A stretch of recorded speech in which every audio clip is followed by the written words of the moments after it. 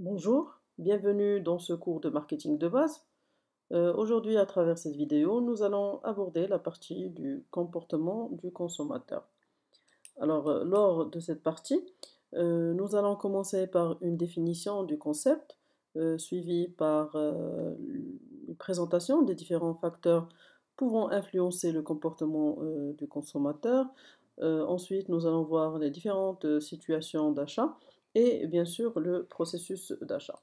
Alors l'étude euh, du comportement des consommateurs euh, est une analyse qui va nous permettre de comprendre les actions et réactions des individus, euh, bien sûr lors d'une action d'achat. Alors pour une entreprise, l'étude de la demande ne se limite pas qu'à observer les comportements des consommateurs, mais aussi leur interprétation, leur explication et tout simplement, il faut les comprendre. Euh, avec bien sûr comme objectif de pouvoir influencer favorablement ces comportements dans l'intérêt de l'entreprise. Euh, tout simplement, ça se traduit par l'action d'achat.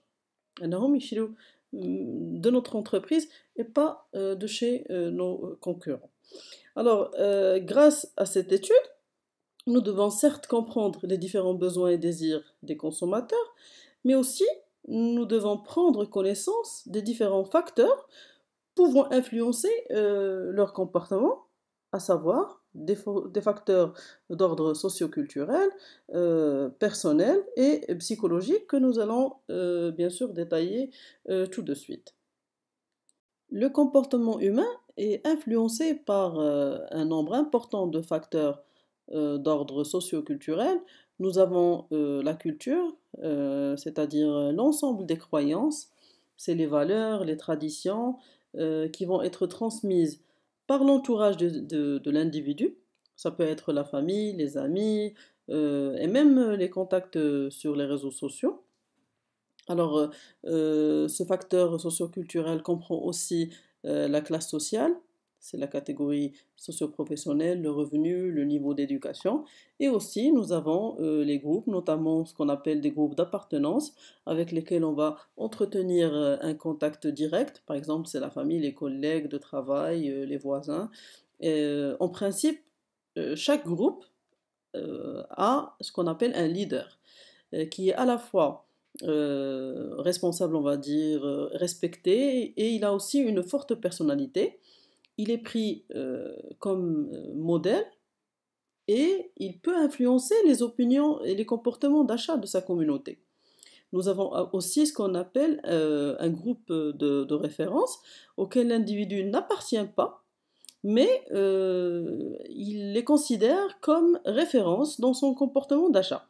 C'est ce qu'on appelle un leader d'opinion, par exemple, c'est l'image des stars de football sur les jeunes. Alors, à partir de, tous ces éléments euh, d'ordre socio-culturel, l'entreprise peut recourir aux leaders d'opinion et aux leaders euh, de groupe pour communiquer sur ses produits. Et si elle obtient bien sûr le ralliement de ces, leaders, alors euh, dans ce cas, l'entreprise peut espérer que l'ensemble, on va dire, des membres du groupe adoptent sa marque et bien sûr achètent ses produits. Deuxième lieu, nous avons les facteurs euh, d'ordre personnel, euh, tels que la personnalité, l'image de soi et le style de vie. Ils vont euh, aussi expliquer le comportement du consommateur. pour la personnalité, c'est l'ensemble des traits, de personnalité bien sûr, et les émotions qui sont propres à chaque individu et qui auront un impact sur son comportement en général. Euh, et cela va influencer aussi son mode de consommation en particulier. Euh, pour l'image de soi, c'est l'image que le consommateur se fait de lui-même et aussi la manière dont il pense que les autres le voient. Euh, cela peut être un facteur de consommation ou à la non-consommation aussi. L'important pour lui est de respecter toujours l'image qu'il pense représenter. En dernier lieu, nous avons euh, le style de vie du consommateur, bien sûr. Ici, c'est tout simplement euh, les façons ou les modes de consommation euh, qui vont aller en parallèle avec les valeurs et les croyances des individus. C'est le cas, par exemple, d'un végétarien qui ne pourra jamais acheter de produits à base de viande animale. Ensuite, les facteurs et les mécanismes psychologiques vont provoquer différentes réactions chez un individu vis-à-vis, bien sûr, une action publicitaire ou une action marketing. cela peut dépendre du besoin, de la motivation, des attitudes, de la perception. Euh, tous ces éléments vont influencer bien sûr le comportement du consommateur. Euh, l'individu ressent bien sûr des besoins qu'il va chercher à satisfaire. C'est un facteur qui va pousser à la consommation. Aussi, la motivation est une force qui va aussi euh, bien sûr pousser l'individu à agir et à acheter le produit. Et ici, nous pouvons distinguer entre la motivation hédoniste pour se faire, plaisir, pardon, la motivation oblative où on cherche à faire euh, plaisir à autrui, euh, les motivations d'auto-expression, ici, on va chercher à travers notre achat de nous exprimer ou de prouver notre appartenance à une certaine catégorie. Euh, pour la perception, c'est un processus d'interprétation des différents messages et stimuli auxquels les consommateurs sont exposés. En principe, euh, cette perception est stockée dans la mémoire de la personne. Euh, si vous faites attention ici, c'est une image euh, dans notre mémoire qu'on va utiliser au moment opportun. Je vous donne un exemple. imaginons une entreprise X qui commercialise des vêtements, des vêtements de sport. elle va venir sponsoriser un événement qui vous tient à cœur, que vous aimez bien.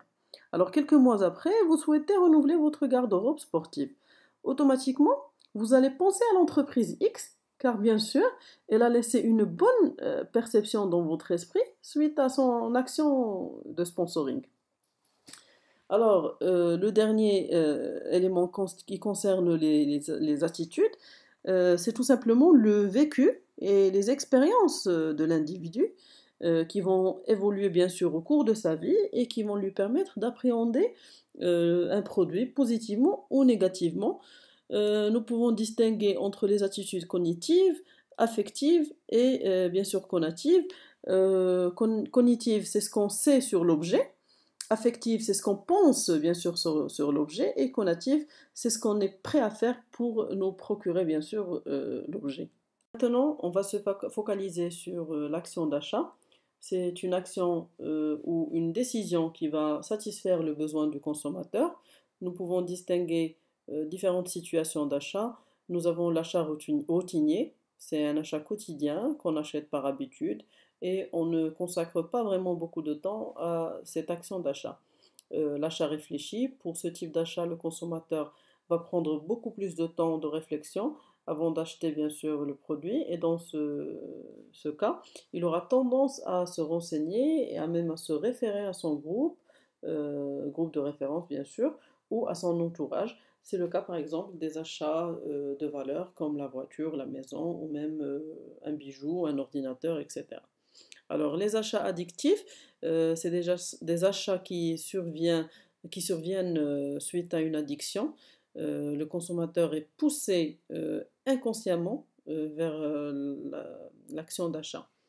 L'achat impulsif, bien sûr, c'est une action non réfléchie où on ne planifie pas d'acheter le produit, mais peut-être suite à une offre ou à une promotion, le consommateur va prendre la décision d'achat immédiatement. la dernière, c'est l'achat compulsif. Euh, on parle euh, aussi de surconsommation addictive. C'est un achat en grande quantité qu'on n'arrive euh, pas à freiner. Dernier point du comportement du consommateur concerne le processus d'achat. Alors le schéma suivant illustre les étapes traversées par un consommateur pour sa prise de décision d'achat. C'est ce qu'on appelle un processus d'achat. Euh, à travers ce modèle, on peut clairement voir que la prise de décision euh, n'est qu'une simple étape euh, du processus tout entier. Alors la première étape concerne la reconnaissance du problème. C'est le point de départ du processus d'achat.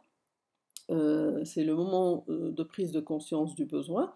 Alors cette, cette phase va prendre fin quand le consommateur va admettre la réalité de son besoin et la nécessité euh, d'un achat.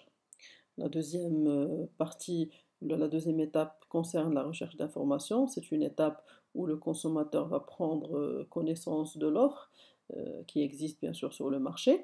il devra faire appel à sa mémoire, à son expérience, à la publicité bien sûr et aux experts pour mieux connaître les différents choix qu'il a devant lui ou les différents choix qui existent sur le marché.